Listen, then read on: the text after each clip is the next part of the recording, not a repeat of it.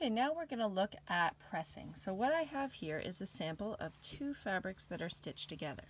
So we need to press our, our fabric because right now when I open this up, you'll notice it doesn't lie particularly flat. We want it to look flat so it doesn't look bubbly or homemade. We want it to look professional. So what I'm going to need to do is I'm going to grab my handy dandy iron, which is already preheated, and I'm going to press down, because remember we're interested in pressing. So I'm going to hold it down for a bit, and then I'm going to flip it over to the other side and do the exact same thing. So now that that's been done, I'm actually going to lay it open this way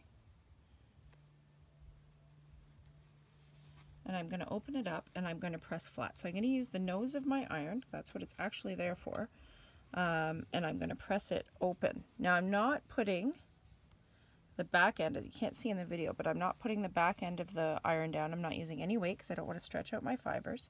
What I'm doing though is I'm now going to press down after I've nosed it open.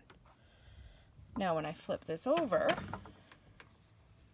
you'll notice a difference between this and the original seam.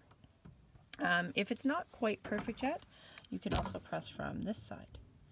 Now the last thing I want you to do on this sample is seam finish.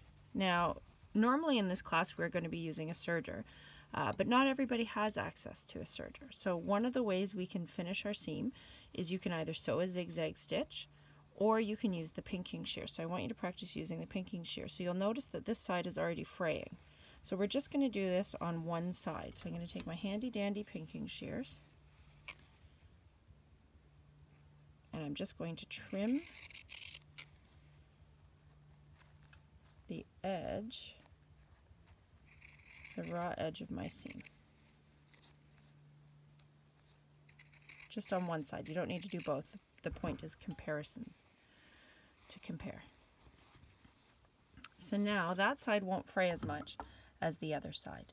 So uh, practice on a sample, put this into your sewing journal, and make some notes.